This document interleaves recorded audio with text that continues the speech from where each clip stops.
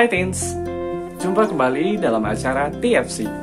Kali ini kita akan menyimak tulisan pendeta Michael Surajaya dalam buku renungan Teach for Christ dengan judul Luka Hati bersama saya Ujun Junaidi. Melvin adalah anak dari seorang ibu single parent. Setiap hari ia mencoba melakukan hal-hal yang menyenangkan ibunya. Tetapi setiap hari pula ia hanya mendapatkan kemarahan dari ibunya. Di saat yang sama, Melvin menyaksikan sendiri bagaimana sang ibu memanjakan adiknya.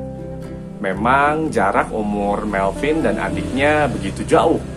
Namun, perlakuan yang sangat berbeda ini membekas di hati Melvin. Melvin makin sakit hati ketika sang ibu memaksanya untuk sekolah di luar kota.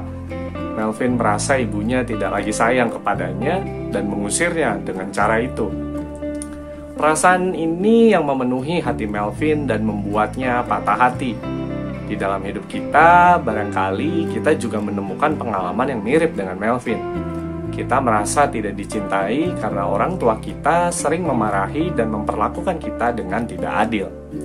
Namun, melalui teks Alkitab hari ini, pemazmur mengingatkan kita bahwa Allah senantiasa hadir dalam situasi kehidupan yang berat Allah yang hadir bagi orang-orang Israel yang terluka karena dibawa ke pembuangan juga bersedia hadir bagi setiap orang.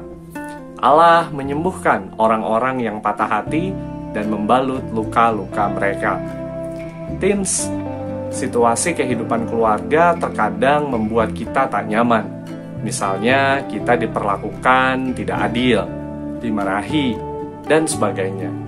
Di titik itu, kita terkadang mencari kenyamanan semu dengan menghabiskan waktu bermain game online, media sosial, dan lain-lain. Namun, itu hanyalah pelarian dan tidak menyembuhkan luka-luka kita. Hanya Allah yang sanggup memulihkan kita. Bahkan ketika keluarga menyakiti kita, percayalah Allah selalu hadir untuk kita. Ia mau menyertai kita untuk melewati pengalaman menyakitkan itu dan memulihkan hidup kita. Amin.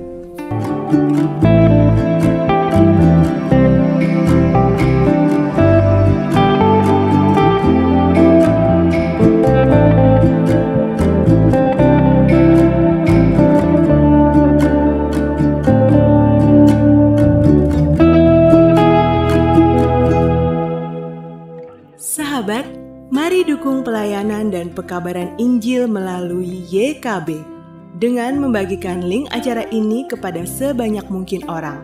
Dukungan juga dapat saudara lakukan dengan mentransfer dukungan finansial ke rekening BCA ke nomor 450 305 2990 450 305 2990 atas nama Yayasan Komunikasi Bersama.